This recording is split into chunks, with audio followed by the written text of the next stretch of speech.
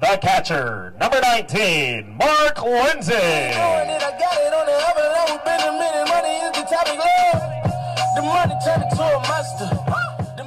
It would all begin in Upland, California, where Mark Lindsay would dream of playing baseball. He would attend Bonita High School, and as a senior, he would lead his team, hitting 422. He would accept a partial scholarship offer from San Francisco State, and as a freshman, this is where the story begins.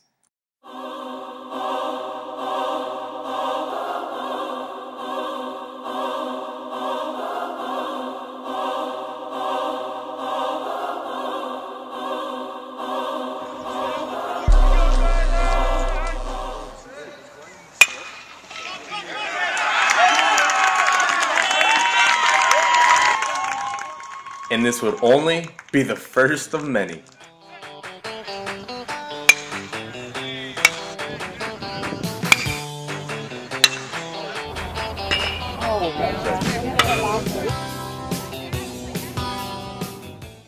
As a freshman, Mark would burst onto the scene, finishing the season with a 355 average and a conference Freshman of the Year award. It meant a lot. That was a pretty fun thing for me to do. Gave me a lot of confidence just knowing that I could play with players like this. I look back at that year and that was just like one of the funnest years that I've had probably here. I think what was awesome freshman year is that he came in with the mentality that he was going to be a starter from day one. He's been a guy that we've kind of put a lot of pressure on early in his career as a freshman, being the starting catcher, and he's responded to it. Mark would try and carry this momentum into his sophomore season, but now being on the map and widely recognized as one of the best hitters in the league, things would not be so easy. You know, we talked about it, and I told him, I said, "Hey, they got a whole whole year of history on you. They know what you what pitch you like to hit and what pitch you don't like to hit. You got to make an adjustment now." My sophomore year is probably one of my most frustrating years, just because I was still I was still getting my hits, but it's just it was just coming to the point where I was getting so pitched differently that I couldn't really deal with it right away. But it also did make me kind of learn from it. And it was frustrating, but at the same time, it was it was it was probably good for me. Mark would finish his sophomore campaign with a solid 46 hits and a 274 average. But going into his junior year, he knew he would have to make adjustments. And that he did in a season that would land him in the record books. Oh, there's times where I'm sitting in the dugout and he's up to bat, and uh, I'll ask a guy next to me, I'm like, dude, is there any way that this pitcher can get him out? I swear every time he went up to the plate, I was thinking, well, here comes another seat up the middle. Here comes a, a double in the gap. Here comes another. Or now they're going to probably walk him because he's got so many hits. And wouldn't that be the case as Mark would cap off his junior season, totaling 51 hits, which would put him at number six on the all time list. And going into his final year, he would only be 56 hits shy of breaking Phil Kernan's record of 211.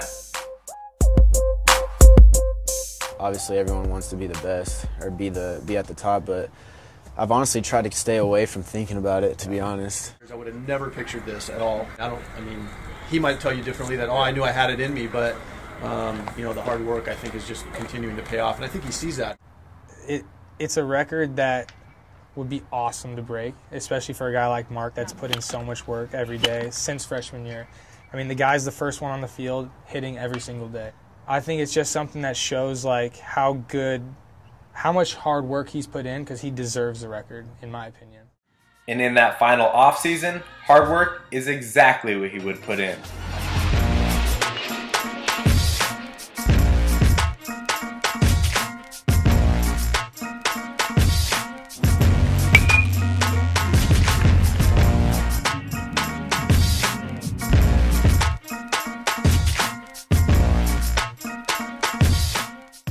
Has a purpose. If you could focus on every single swing, every single drill that you do in the cage or defensively, um, it really does matter.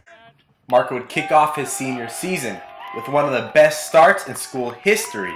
He would hit over 400 in conference through their first 35 games, and he would propel himself to the second spot on the all time hits list.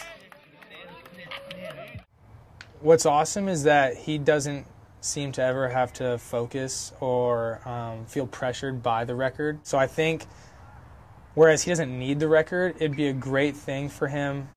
If I get it, I get it. If I don't, so, I mean, I'm not gonna be too hard on myself about it. But I mean, at the end of the day, everyone, you know, strives to be the best.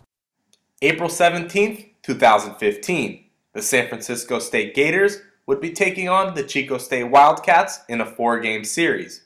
Mark's career hits total would be at 200, and with 13 games remaining, he would be 11 hits from tying the record and 12 from taking over the top spot.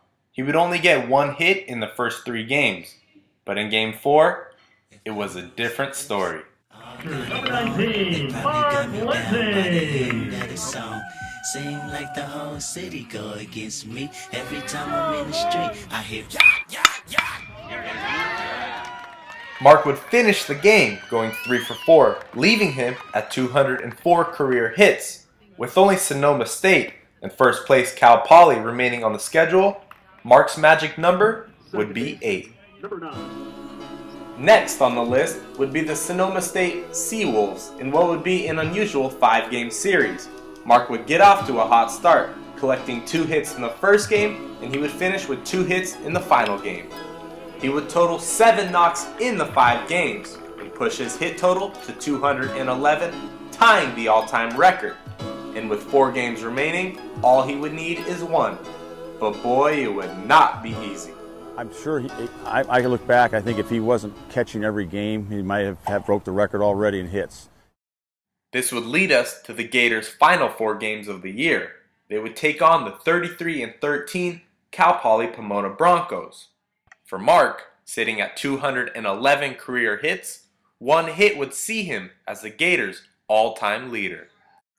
In game 1, it would be a tough go for the star catcher. He would finish the game 0 for 3 with two strikeouts. But one hit in three games was a lock, right? Not so fast. Mark would carry an 0 for 10 streak into the final Sunday of the year. With only 9 innings left to get that elusive one hit, the pressure was on. That final Sunday would also be senior day for the Gators. They would be sending out 9 seniors.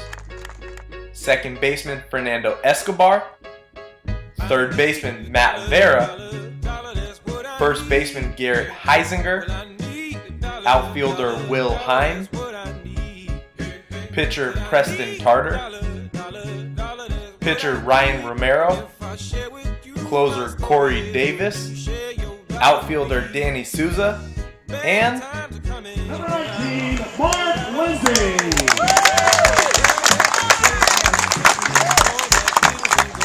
With all these great festivities, there was still a game to play, not to mention a huge record on the line.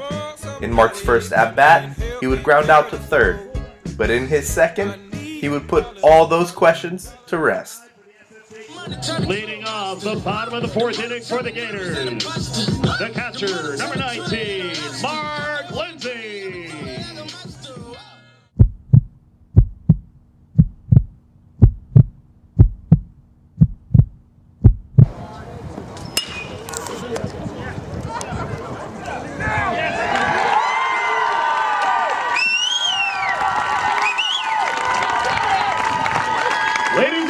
and with that hit, senior Mark Lindsay now has 212 in his career.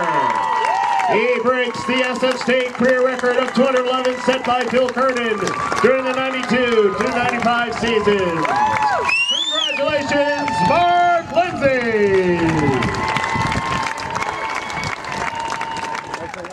So there it is, hit number 212. For good measure, Mark finished with 213. But it was a great season for these Gators. As for Mark, the next step, the MLB draft. Let's cross our fingers. Look, I ain't gonna say that we back or nothing, cause that implies that we're back from something. If we're back from something, it's some checks you owe us. I expect that payment, nothing less or over. I don't need them favors that you asked me for. I could give two fucks about where the Grammys go. I just gave out Grammys on my Instagram. Them OVO boys, the business.